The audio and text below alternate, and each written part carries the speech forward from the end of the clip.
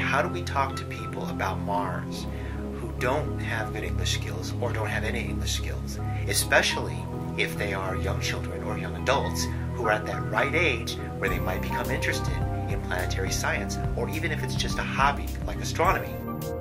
I thought the best way to do this would be to try to find some volunteers in as many languages as possible who could translate our captioned images so that people from across the world would be able to see what it is that we are doing. These volunteers are working on an active space mission. We call ourselves the People's Camera because we wanted people to not only enjoy the pictures that we have, but to be able to see for themselves what we learn as we're going along. For someone who doesn't know anything about this, they can spend a great deal of time looking at these beautiful high resolution images and also reading about what they're looking at in their own language. I initially received about 30 35 volunteers.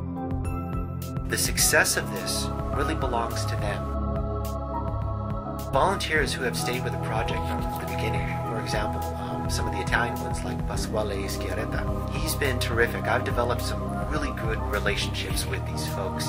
They're all very, very interested. Roberto Gorla, another Italian volunteer, he has always been fascinated with science and space ever since he watched the landing of um, the Apollo mission on the moon. One of our Spanish volunteers, his name is Nahum Khazara, he's been absolutely turns these captions around so quickly that he's the bulk of the Spanish translations.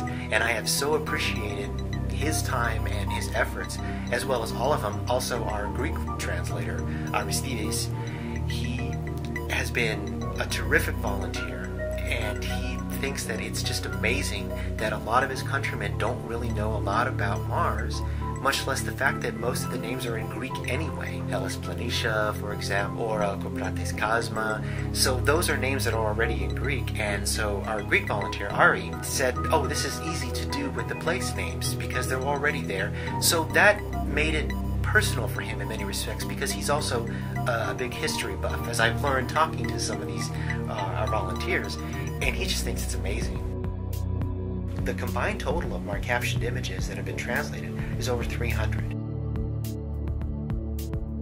This is an open-ended project. We want very much people who speak uh, other foreign languages like Portuguese and French, for example, to participate.